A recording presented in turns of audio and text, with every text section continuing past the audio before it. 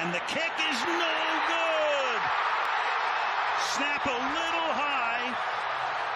Lee able to get it down, but probably just enough mistiming.